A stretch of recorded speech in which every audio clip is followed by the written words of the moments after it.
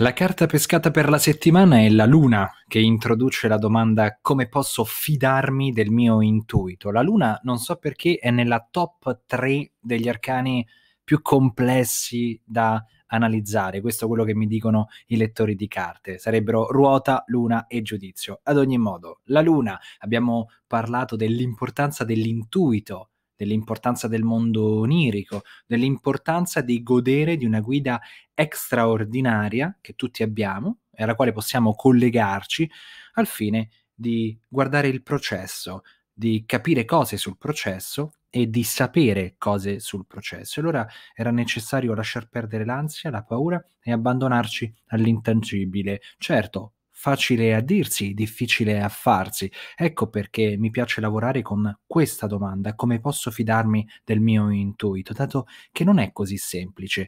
Ora, questo tiraggio fatto esclusivamente con gli arcani maggiori mette in luce un dato di fatto. Apparentemente mancano quelle carte che parlano dell'intuito. Ora, se avessi letto il mio libro Tarot la grammatica, sapresti anche che il mondo intuitivo, così come il mondo dei messaggi intuitivi, nei tarocchi può essere visto da un personaggio che sta guardando un angelo.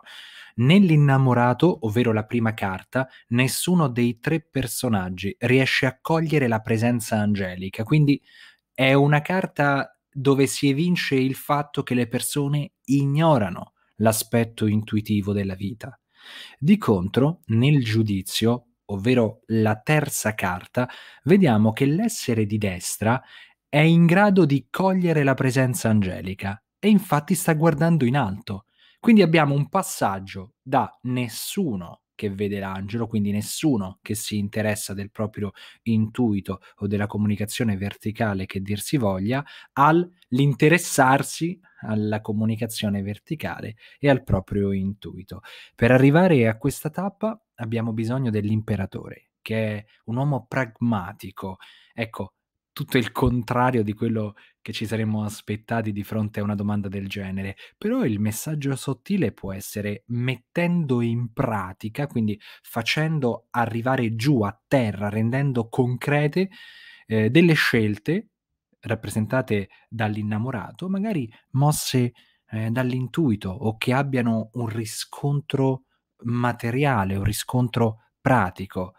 È interessante anche vedere la ripetizione dei gruppi, sia nell'innamorato che nel giudizio, e allora forse fidarsi del proprio intuito non deve necessariamente essere un percorso che facciamo in solitaria, ma potrebbe accadere frequentando delle persone che vibrano alle nostre stesse frequenze.